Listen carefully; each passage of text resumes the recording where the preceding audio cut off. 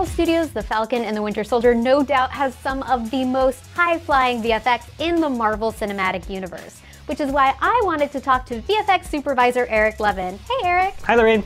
Now the series has some incredible action sequences. What was your overall vision for those action sequences in the show? What I really wanted to do for the big action sequences was as much as possible make things feel like they're grounded in reality. So obviously we don't have Anthony Mackie flying around in a real jetpack with real wings, but we want to make it feel like if he was, how would we film that? There are people who can actually fly. You have wingsuit pilots who jump out of airplanes. They all have little helmet cameras. Kari Skogland, the director, really wanted to bring that language to our show as well. So we actually have many shots where we've got an action cam in front of Sam's face or on the wingtip and as he moves, we see the entire world move around him and things like that. And um, that was a really interesting new visual language to bring to the show that we haven't brought before. I think that new visual language is really clear, especially when you look at other MCU characters who also fly. But what makes Falcon's flight so unique? It was important for us to have Falcon feel like a different character. There are so many other characters in the MCU that fly, like Iron Man, for example. Um, he flies, but he has a different center of gravity because his engines are in a different place than Falcon's. Um, he can hover in a way that Falcon doesn't necessarily hover. So we wanted to make sure that Falcon felt different um, and that we weren't sort of copying the flight patterns of other, other heroes. Well, let's talk about where we really see this happening in the show, which is that big opening sequence. It opens the show, so you're sort of dropped kind of right in the middle of it. Sam is kind of contracting with the Air Force. There's a terrorist organization out there that is, they think is going to kidnap an American Air Force plane. And so they're sending Sam in to go make contact with that plane, make sure everything's okay. They've lost contact with it. Then, what he doesn't know is that these guys are expert wingsuit pilots and they actually strap Captain Vassant to them and then jump out of the plane. So it was just sort of this amazing moment. Like, I didn't know they could do that. So now Sam has to chase after these wingsuit guys. So the first thing that we see is Sam in the airplane and then he drops out backwards. How did you create that shot? Yeah, that was a relatively straightforward shot. We've seen that sort of thing done before, so we wanted to make sure we put our stamp on it. Basically, he's in the real plane. There are pads below him. There's a blue screen surrounding the plane. Um, and then when he falls out of the plane, somewhere in the middle of that process, we basically blend to a digital version of him. Ideally, the effect is seamless. You don't know where, you know, Anthony starts and where the digital version begins. That sequence is so wild. You really can't tell what's real and what was shot practically. How did you shoot the scene where Falcon lands on the plane? Is that shot in the air?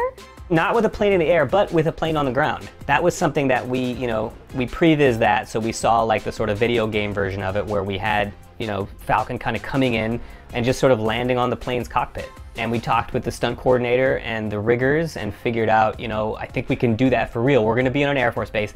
We have a real plane um, and they would wire Anthony up on like a traveling harness that would actually fly him into the shot. And Anthony really did it. He actually flew onto the nose of an aircraft. Uh, in that particular shot, I think we replaced him completely at the beginning of the shot because we didn't like the trajectory at the beginning, and then we blended to real Anthony landing on the nose of the aircraft. So the next crazy thing that happens is there are these wingsuit flyers weaving between the canyons. Did you work with real wingsuits? Not only are we working with actual folks in wingsuits, but Captain Vassant is strapped to one of the wingsuit pilots. In real life? Yeah, and so that was the sort of thing, like, you know, in the story, he's strapped, you know, in the story, yeah, he's gonna strap him and he's gonna jump out. And I was talking with the stunt coordinator and he said, oh yeah, yeah, we can do that. What? What? Oh yeah, no, we do it all the time. We, uh, you just strap a guy to another guy and he'll just hold on real tight and they'll jump out of the airplane. Anytime you can do anything for real, you wanna do it for real. I think what's really important in this, especially in a sequence like this, is even if, I don't know, 70%, 80% of the sequence is done on the computer, it's, it's CG, but having enough of it to know that it's real and to be able to sell people, oh, that they did that for real. That's a real guy jumping out of an airplane with someone strapped to his back. If you have enough shots in there that are real, I think it kind of makes the rest of the sequence believable. Then you start to question, wait, what's real, what's not, what's digital? And if you can't tell, that's the goal. Then, then it seems like maybe it, maybe it was all done for real. The show is action-packed from start to finish, and as we arrive at the series finale, we finally see Sam's heroic debut as Captain America. Could you talk us through that big final scene? Yeah, so everything kind of comes to a head at the end. Um, in our last episode, the Flag Smashers have basically, you know, they've sort of become radicalized at this point. Basically, they just take a bunch of hostages. So um, one of the Flag Smashers takes a bunch of hostages in a helicopter and is flying them all over New York City. Then there are two other trucks that are hijacked by the Flag Smashers. So everybody converges here. And at one point, Karli is just like, you know what? I, I, I can't take this anymore. And she's to take one of the trucks full of hostages and just drive it into a construction pit. And it looks like the truck is to hit the ground, but at the last second, Captain America shows up and saves the day.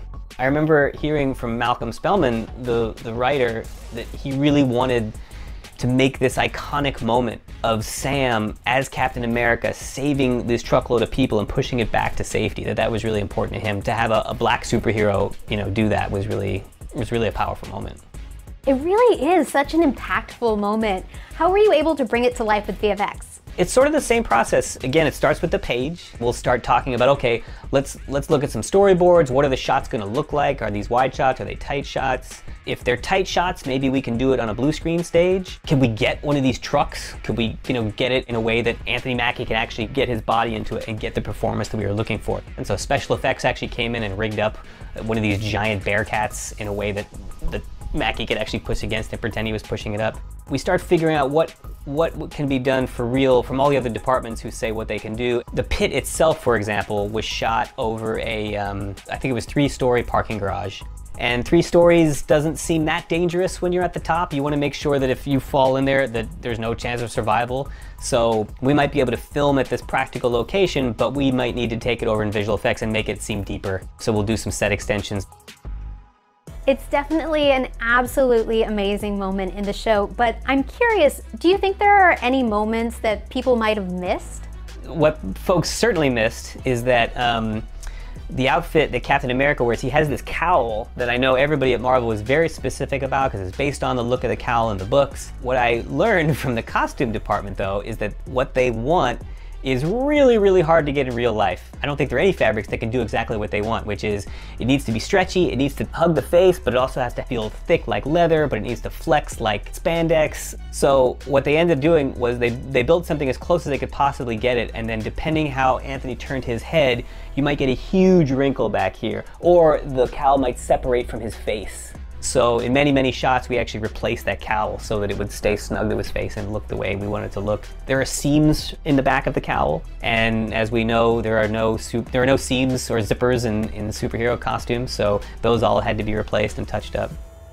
There are so many details that go into creating the VFX for a series like this, but what was your absolute favorite aspect of working on the series? Certainly working with these huge action sequences was my favorite part of the show. Uh, because there's just so much that goes into this stuff. There's so many moving parts. You get to work with so many different people, so many different departments, and bringing everybody's creativity to the table, working in, with just these amazing people to make these action sequences better and better and better was really, really fantastic. Some of these scenes we were working on them for over a year, and it was just really neat to see them from the very beginning all the way through to the very end. Wow, Eric, it's been quite a ride. Thank you so much for talking to us. And everybody, be sure to go watch all episodes of Marvel Studios' The Falcon